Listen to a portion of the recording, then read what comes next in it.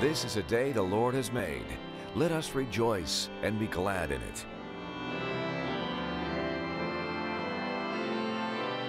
Church Street United Methodist Church proudly presents Rejoice.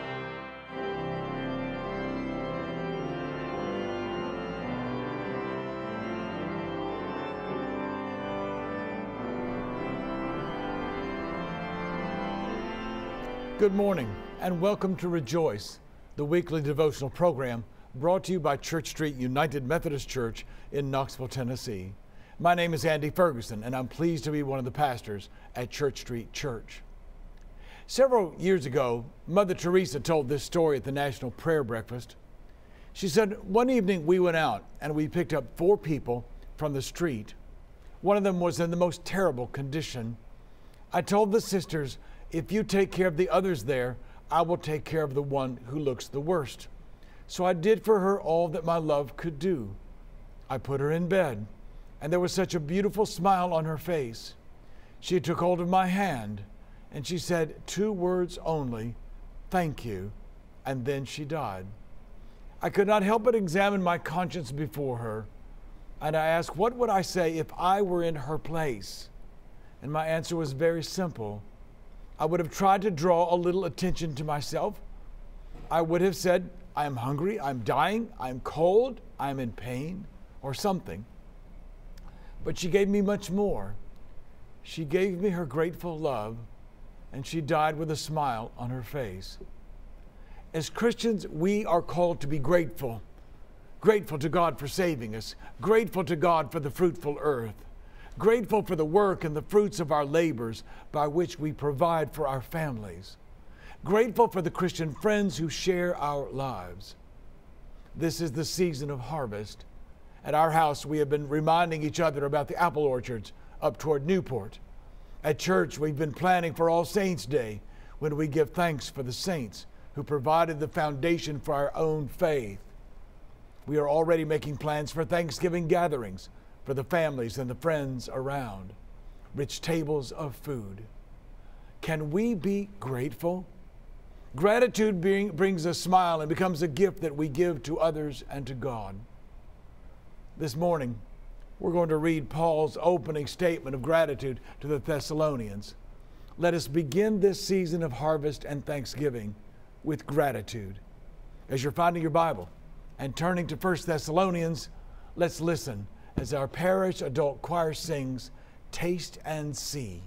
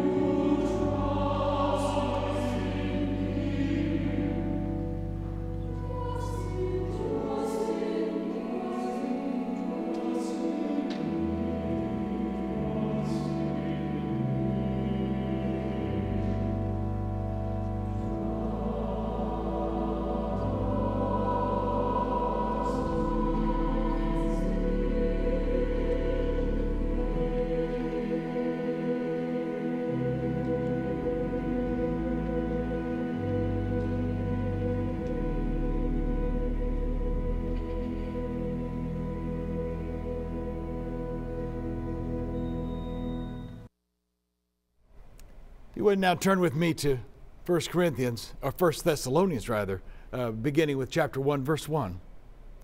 Paul, Silvanus, and Timothy, to the church of the Thessalonians in God the Father and the Lord Jesus Christ, grace to you and peace.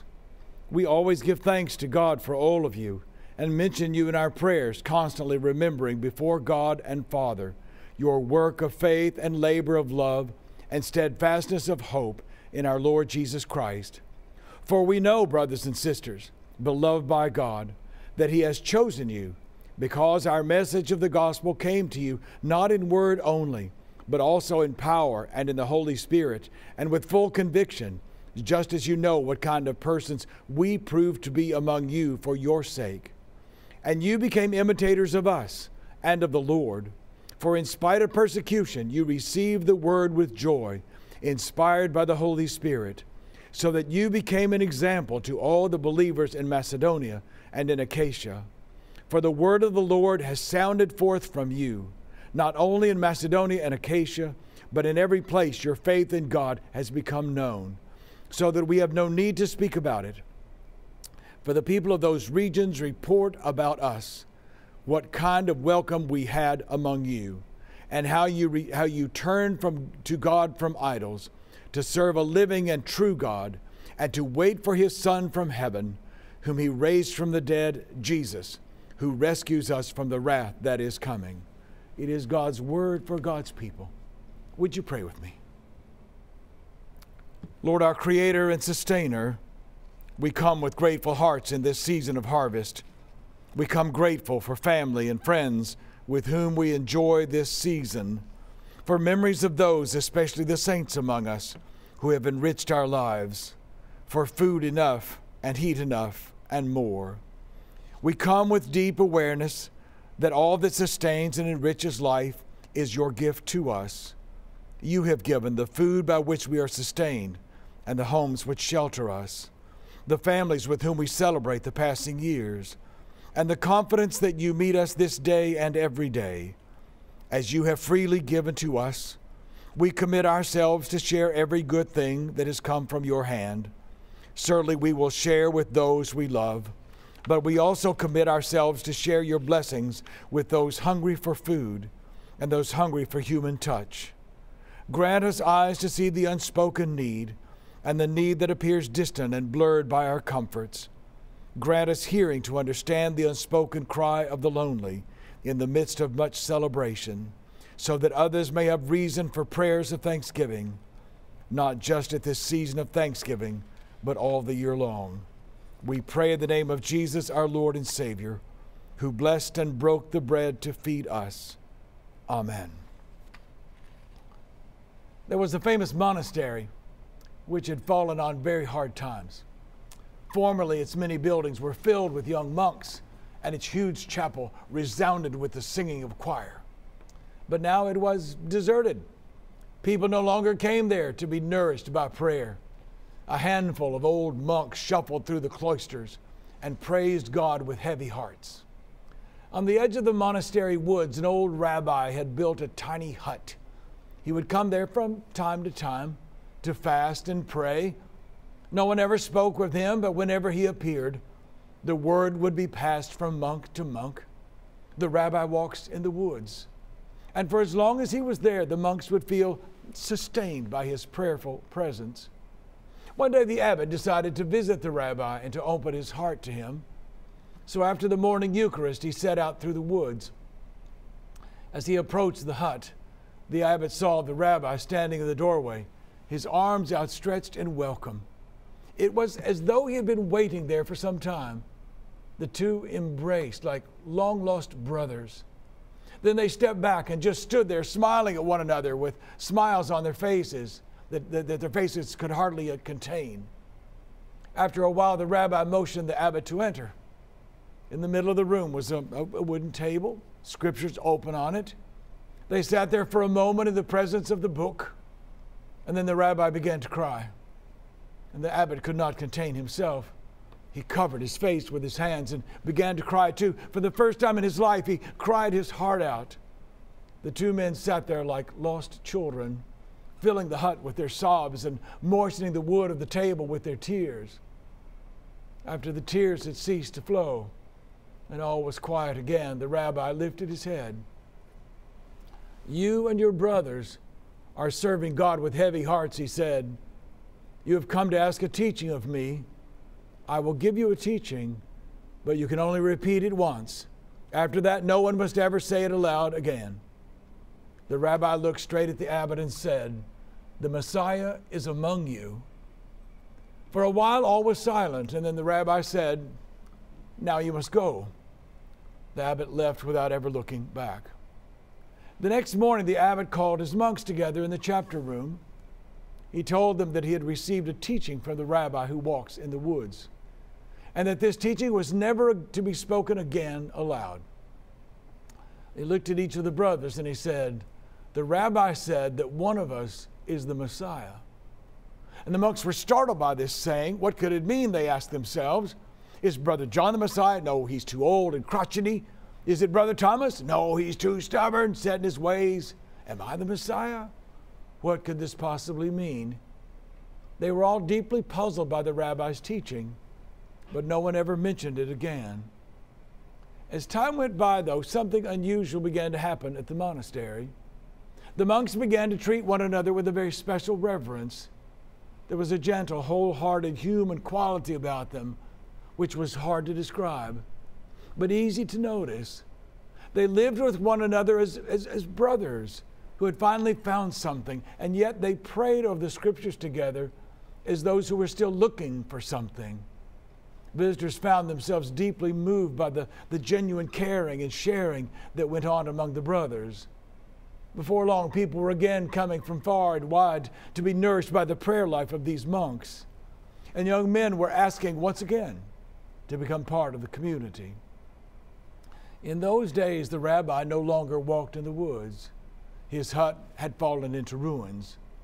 But somehow or other, the older monks who had taken his teaching to heart still felt sustained by his prayerful presence. The world in which we live is deeply troubled. Ebola has infected another healthcare worker in this country, or is it more now? It is infecting thousands each week in Africa. Even McGhee Tyson Airport has a protocol in place for screening passengers who might show signs of Ebola.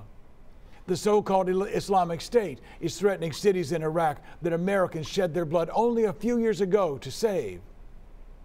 While the U.S. economy is slowly improving, the economies in our European and Japanese trading partners are slowing down. Demonstrations closer to home in Ferguson, Missouri are continuing. On and on and on. In a world that seems torn in every possible direction, what is it that holds the nation and this world together? What is it that keeps this fragmented society from flying apart?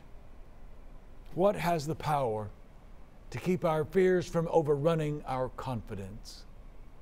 Well, Paul spoke to the church at Thessalonica in a time when that church was troubled with an internal and external pressure. He spoke at a time when Christian gospel was in its infancy and therefore fragile. At the opening of this letter, he speaks of his gratitude for them. And throughout the chapter, filled with gratitude, he weaves elements of their strength. We should learn from Paul and from the church at Thessalonica we individually and as a nation certainly need to learn from them. Three themes come out in this short passage. These stood as the foundation, holding the young church together in the face of pressure and even persecution. The first element of the foundation was their focus on the gospel. Paul said to them, We know, brothers and sisters, beloved by God, that He has chosen you because our message of the gospel came to you not in word only, but also in power and in the Holy Spirit with full conviction. Too often we lose our focus on the gospel of Jesus Christ and depend instead on the world's measures of success, like success, for example. The world measures any enterprise and judges it successful based on a common set of indicators economic success, the size of the crowds, the prominence of the people who show up, Paul would object to say that the church should be measured only by its faithfulness to the gospel. These other indicators are just window dressing. On August 1, 1970, Lane Guthrie, a commercial airline pilot, decided he had had enough.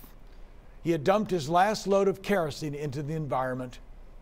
Holcomb Noble wrote in the New York Times at that time the airline industry practice was to dump waste kerosene during takeoff or at high altitudes. Airline officials claimed that the kerosene evaporated, caused no harm to the environment, but Guthrie did not buy it. He claimed that in peak season, as much as 500 gallons of fuel was dumped every day over his home airport in Miami. So on his 30th anniversary as a pilot, he celebrated by following his conscience. He refused to take off until the waste fuel accumulated from the previous flight was pumped out of his jet. In subsequent flights, he continued his demand, and two months later, he was fired for insubordination. By now, however, he'd become a bit of a cause to be celebrated. Other pilots rallied around him and also refused to dump fuel. Finally, the airline backed down and rehired Guthrie at full pay. And soon the airline industry as a whole ceased the practice of aerial fuel dumping. For wrongs to be righted, the question often is who will lead the way and be the first to pay the price of following his or her conscience. For some people, it means deciding that they have told their last lie or cut their last corner. When we follow our conscience, it just may be that other people will be encouraged to follow theirs. But even if others do not, the day we choose to do what we think is right is a cause for celebration. Guthrie looked beyond the obvious question of keeping the company protocols. That protocol just asked whether he had followed the rule to dump or not. By looking beyond the obvious to the greater environment, he could consider the impact of dumping kerosene into the environment day after day. Looking at the greater impact, he decided to act. With his action, he made a difference. We do the same when we keep our eye on the gospel in our daily lives. The world will only ask if we keep the driving laws as we make our way from home to work or out to run an errand. But the gospel will ask us to see, really see the people we pass along the way. What about their neighborhoods? Are their children cared for during the day? Are their streets safe? The world will only ask if we follow the company policies as we do our jobs. But the gospel will ask us whether our daily work is making a stronger community. The world will only ask if we did no wrong as we dealt with difficult or unattractive people through our day. But the gospel will ask what good we did to those same people. Did we offer mercy? Did we work charity in the places of need? Did we offer Christ? The first element of the foundation was their focus on the gospel. Their leaders helped them to focus on their foundations.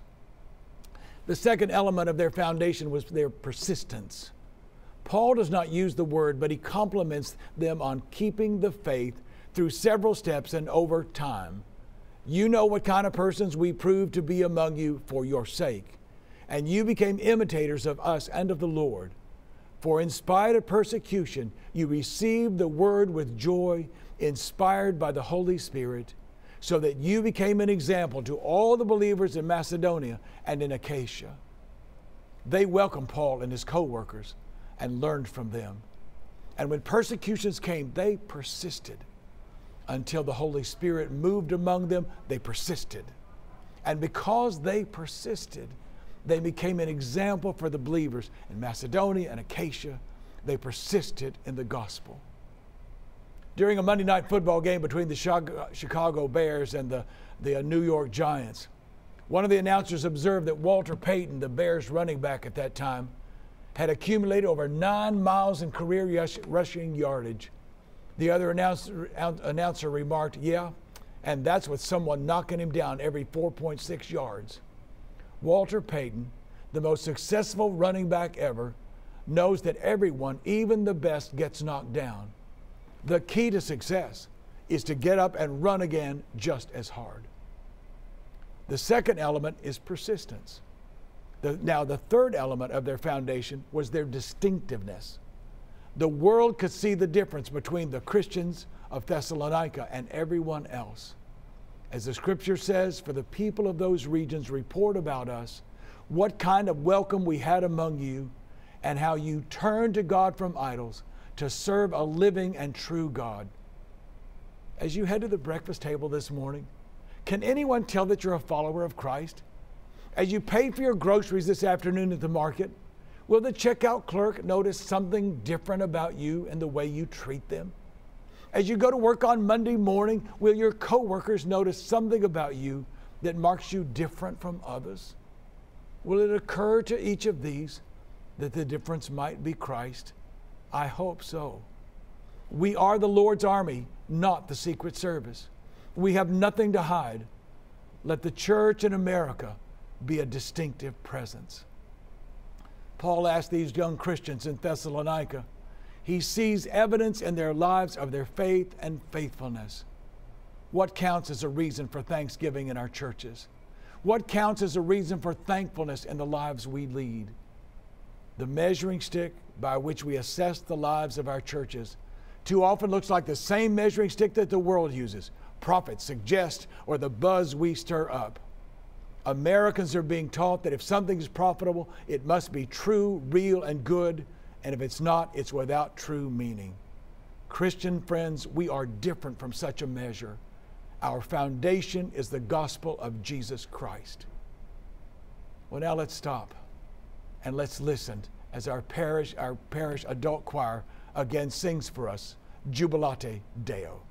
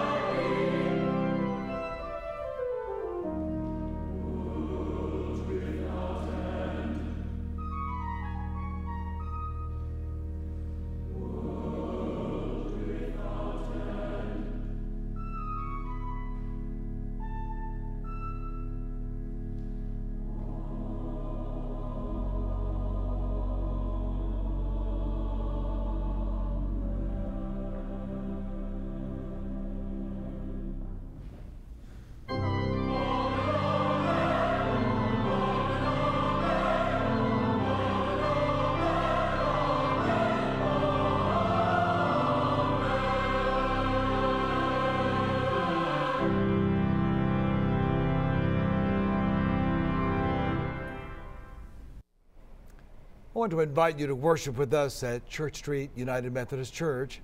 We worship on Sundays at 8:30 and 11 a.m. We are worshiping at this time in our gymnasium, which is uh, to the breezeway in the middle of the building, and then, then down in, in that direction, there will be ushers there to guide. We invite you to come and join us as we gather for that sacred gathering. Also, we have a midweek communion service. Again, I want to invite you to be a part of communion. I want you to be a part of that. Well, in closing, I'm Andy Ferguson, pastor at Church Street United Methodist Church in Knoxville, Tennessee. I thank you for letting me share this devotional time with you in your home. And now, as I go, my wish for you is that you might live each day like out of the corner of your eye, you have just caught sight of God and realize that God is headed your way.